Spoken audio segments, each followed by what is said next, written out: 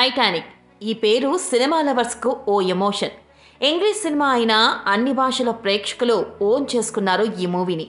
దాదాపు ప్రపంచంలోని అన్ని భాషల్లోకి వచ్చేసింది ఈ మూవీ. దీనికి తోడు అదే టైటానిక్ చూడడానికి వెళ్ళిన సబ్మెరైన్ కూడా ఈ మధ్య మునిగిపోయింది. ఐదుగురు ప్రాణాలు విడిచారు.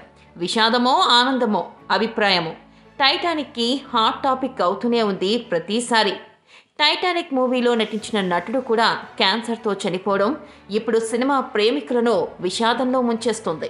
టైటానిక్ నటుడు లేవ్ పాల్టర్ కన్నుమూశారు. కొంతకాలంగా ఊపిరితిత్తుల క్యాన్సర్తో బాధపడుతున్న పాల్టర్ లాస్ ఏంజల్స్లోని తన ఇంట్లో చనిపోయారు. అయితే ఈ విషయం ఆలస్యంగా బయట ప్రపంచానికి తెలిసిందే. దాదాపు నెల రోజుల తర్వాత ఈ విషయాన్ని పాల్టర్ కూతురు క్యాథరిన్ మీడియాకు చెప్పింది.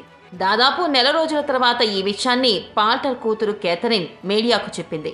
లేవ్ పాల్టర్ పూర్తి పేరు లియోన్ లూయిస్ పాల్టర్. రంగస్థల నటుడిగా కెరీర్ ప్రారంభించి సినీ రంగంలోకి ఎంట్రీ ఇచ్చాడు.